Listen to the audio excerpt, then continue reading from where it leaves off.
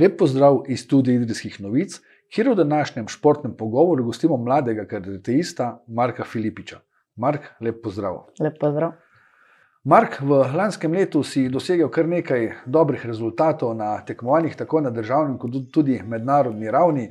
Med drugim si bil tretji na tekmi Svetovne Premier lige v Benetkah v kategoriji do 14 let do 50 kg.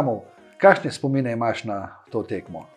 Ja, spomini so zelo lepi, zaradi tega, ker vem, da je to bila ena najmočnejših tekem, kar jih je pač sploh na svetu, za mojo starost. Um, bilo je tudi pač zelo fajn, ker smo bili tam štiri dni. Bilo je približno 2400 tekmovalcev iz 54 držav, tako da je bila ta konkurenca tudi zelo huda. Kako je potekala tvoja pot do osvojenega tretjega mesta na tem tekmovanju? Ja, najprej prvo borbo s njim proti Italijanu in sem zmagal 6 proti 6, sem, sem zmagal zaradi tega, ker sem imel prednost od točka. Pol sem pa zgubil proti Nemcu 9 proti 1 in pol sem mogel čakati, da je Nemc prišel v finale in s njim pol še tri borbe, se pravi prvo borbo z Angležom, druga borba z Ukrajincem in tretja borba tudi z Ukrajincem. Kako je čakati na trenutek, da bo tekmovalec, proti kateremu si izgubil, prišel v finale? Je bilo naporno, si čakal, kaj se bo zgodilo? Ja, pač čakal sem tam v drugi telovadnici, je bilo kar napeto, kaj je zadnjo borbo, je, je že drugi Ukrajinec zmagoval pred Nemcem, potem je pa zadnjih 20 sekund začel spet voditi Nemec, tako da je bilo kar naporno. Ni pa to tvoj edini lanski dober dosežek v borbah v karateju. Tudi na balkanskem prvenstvu si bil dober. Ja, tako je, jaz sem bil pa tretji, nas je bilo pa isto v kategoriji, ne, v kategoriji nas je bilo tako okoli 15, kar je zelo malo, sem je bila konkurenca, je bila kar huda. No. Nastopaš za karate klub Kolektor Idrija. Kako si sploh odločil se, da bi se posvetil karateju? Ja, na začetku v prvem razredu je prišla tista brošurica za karate klub. In sem Atu rekel, da bi je pač račel gledati. In so zato en dan šla pol pogled njihov trening in mi je bilo zelo zanimivo, kako so delali, pač njihov proces treninga. In sem se rekel, da se bi rad upisal. Karate je sestavljen iz različnih uh, elementov, imate kate, borbe, tehnike. Kaj ti najbolj, uh, kaj ti je najbolj všeč? Ja, najbolj všeč mi je, so mi borbe, ker so pač kontaktni športi in se jih malo več dogaja, tam se pač moraš imeti tudi več izkušenj. Koliko treninga upraviš tedensko? Ja, tak, vsak dan tre, trening imam tek po eno uro, pol pa še, če je med vikendom, imamo tekmo ali pa kar kdaj imamo priprave z reprezentanco. Si tudi nekaj let že član reprezentance, kaj ti to pomeni? Ja, pač je zelo fajn, da moramo na, na, pač na vsak mesec enkrat dobimo in treniramo, in tam pol trenerji vidijo, pač, um, če smo kaj napredovali, naše tekme, če smo kaj napredovali, in pol je tudi uh, zbiranje za Balkansko prvenstvo. Je še kdo iz Idrije v reprezentanci v tej kategoriji ali si sam?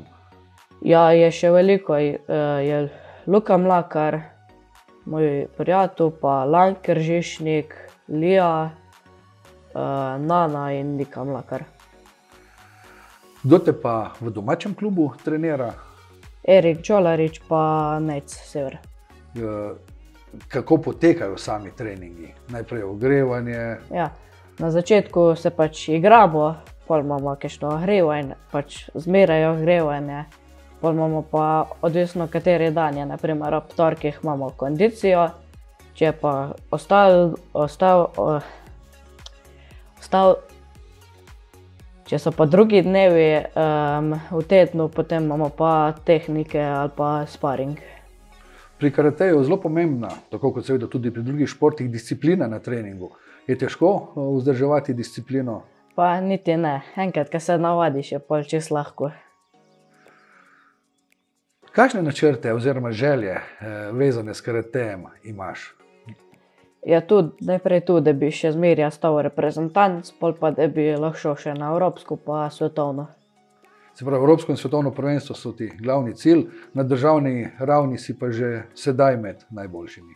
Ja, tako je. Sem že le, lani sem bil uh, državni prvak, pa tudi uh, s Lukatom in Lanom smo bili ekipni državni prvaki. Ne, ne z Lanom, Benotom, Božičem.